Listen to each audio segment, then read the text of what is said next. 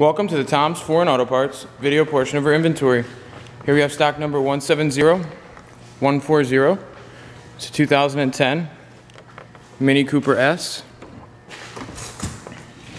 This has the 1.6 liter turbocharged four cylinder engine.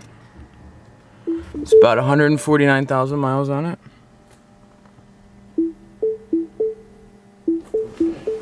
It is a six speed standard transmission.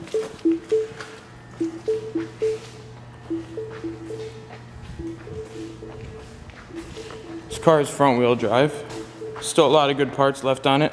Parting it out due to the front end damage here. And you can see this car and more at www.tomsforeign.com.